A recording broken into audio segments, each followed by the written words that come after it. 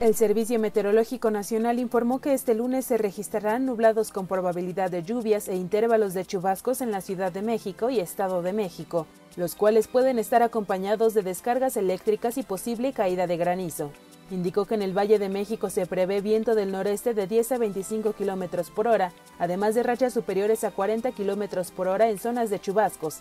En la Ciudad de México se pronostica una temperatura máxima de 25 a 27 grados Celsius y mínima de 12 a 14 grados. Para la capital del Estado de México, temperatura máxima de 23 a 25 grados y mínima de 5 a 7 grados. En tanto, se esperan temperaturas máximas de 40 a 45 grados Celsius en Baja California, Sonora, Sinaloa, Chihuahua, Nayarit, Jalisco y Michoacán.